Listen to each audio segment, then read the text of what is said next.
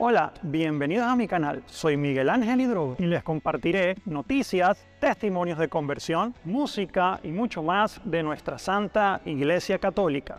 No olvides suscribirte a mi canal y darle a la campanita de notificación. Si quieres hacer una donación, le puedes dar clic al botoncito de gracias que aparece en cada uno de mis videos. Con tu aporte me ayudarás a seguir creciendo en este canal de evangelización. Tu nombre aparecerá al final del video como muestra de gratitud. Bendiciones.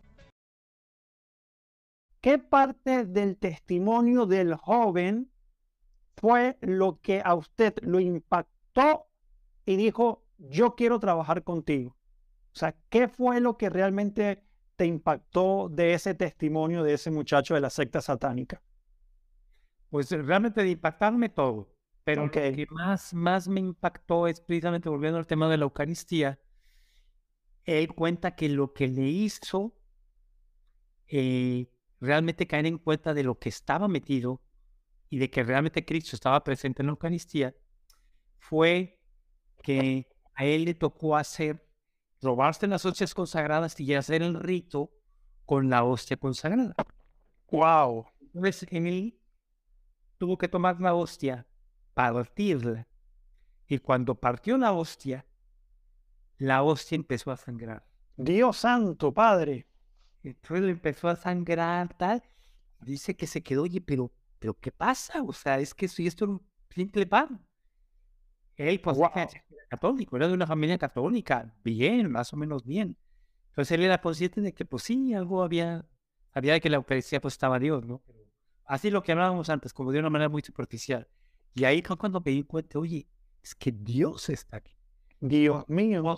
Lo satánico y tal, pero no se le quitaba de la mente esa conciencia de que la hostia había sangrado.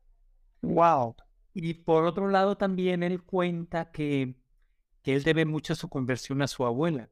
Su abuela, él vivía con su abuela. Y cuando iba a los ritos satánicos volvía a la casa donde estaba la abuela y dice que siempre que llegaba encontraba a su abuela rezando el rosario. Wow.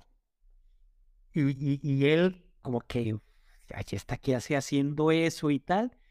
Y ya después recapacitando, después de tiempo tal, él dijo, oye, pues realmente lo que me salvó, te salvo, lo que me sacó de esto y me salvó fueron los, las oraciones que mi abuela, sobre todo el rosario, hacía por mí, incluso desvelándose hasta que yo llegara de mis, de mis cosas sin saber ella realmente que estaba. Sí.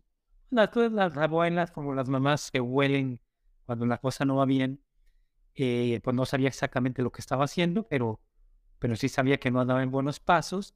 Y su oración, el rosario, fue lo que hizo que esta, este joven decidiera nunca más volver a un lugar